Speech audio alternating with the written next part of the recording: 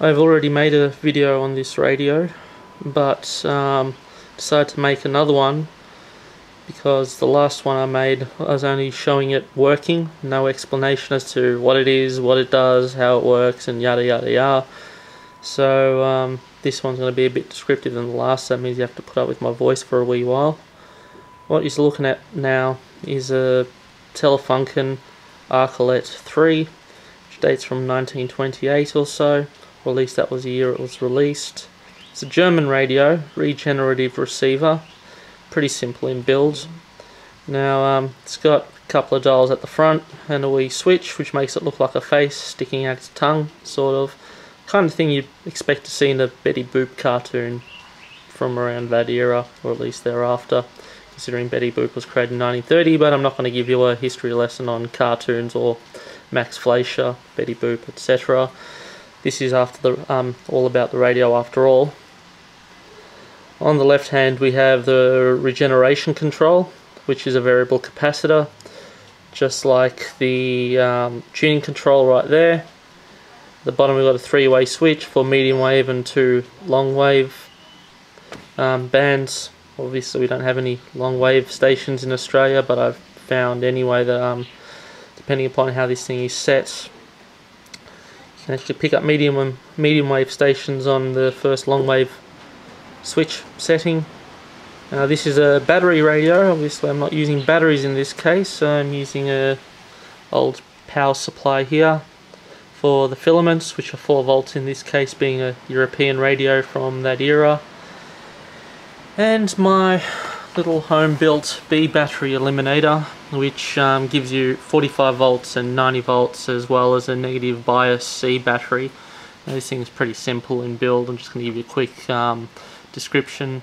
It's got a voltage doubler circuit for the B+, plus, using a 30 volt um, transformer I got from Dick Smith, God knows when. Um, being a doubler, obviously you got um, yeah just the first rectified voltage, 30 volts um, rectified up approximately gives you about 45 volts DC. Doubled about 90 volts, so that's pretty neat. Got another little transformer, half wave rectified negatively, and a um, potentiometer as well to give you anywhere from around about 0 to 37 volts. Ain't pretty to look at because it's all handwritten in uh, a liquid paper pen, but uh, I don't know, I'll pop a circuit somewhere. But anyway, on to the radio, back to the radio. As I said, it's an Arcolette 3. Open up the lid, it's got a rather yellowed little insert tells you what valves to put in there, either 2 volt filament valves or 4 volt. Now, some of the valves I've got in here actually don't match what's on there. It's all in German by the way, if you want to have a look. It's a bit worn out. I have a bunch of old Telefunken valves, so I've pretty much put in what I figured worked, the one that's actually specified for that first position, which is a regenerative detector. Didn't pick up 3CR, S3CR is pretty much the only station I listen to on AM. I had to do something about that, so I put in a higher gain valve. Now that one's on running on, on the 45 volt rail. The two audio valves are on the 90 volt rail. So what have we got here? Let me have a look. Oh yeah, RE034, RE124, and an RE134. Now these are all directly heated triodes.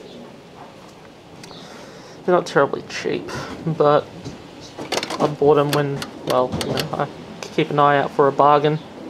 Try to, anyway. Anyway, I'm going to close that. You can hear my dog getting all sooky in the background because she doesn't get enough attention. Sorry, Tara, you're not getting any now. Anyway, turn on the filament. Turn on, uh, reach around there. Oh, there we go. 3CR. It's on the Swing and Sway program. That's on just before um, Steam Radio, but. So ends uh, another.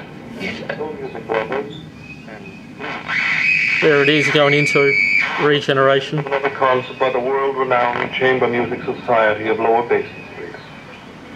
There you go. And more Now, is the pity, but uh, It's we'll um. have uh, ano- we've got actually, another couple of I'll just silence that. It's actually built for high impedance earphones, but I'm running the output into a little 100 volt line transformer as an impedance matcher. Got a little rotary switch there to for the different taps, select different impedances.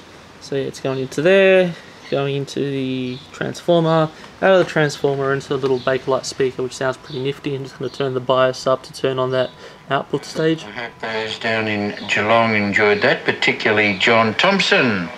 And uh, Yeah, it's pretty neat. It does the John job. Uh, will be Does back it in a, beautifully, actually. uh, on the air in a couple of weeks' time with. Uh, So yeah, there's my obligatory radio video for this Saturday afternoon. While I transcode this thing, I want to listen to this radio. So hopefully you enjoyed it. Any questions you got, leave them in the comments section. Lovely. Just another look on the inside for those that like gut shots. Oh yes, almost forgot. It's got three antenna inputs. Now, all it is, one's going direct to the regenerative detector coil. Um, the other two are going via capacitors. Now, one thing I noticed, yes.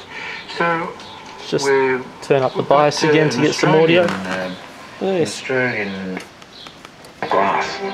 Viticulturalists Different and station. Sunny and 27. Yet another Perth different station. 29. Adelaide, possible light showers about. Currently 15. There you go, weather. Clear. It that has helped three generations of Well, listen, this is the vocal. back to 3CR. uh, and Yeah, the thought you might find of that the, interesting, uh, but anyway, as I was saying, Australian I'm going to nick off now, Brian transcode Lawrence, this thing, upload it, who, um, and listen to this at the same time. There's multitasking England, for you. but, uh, See ya. Is,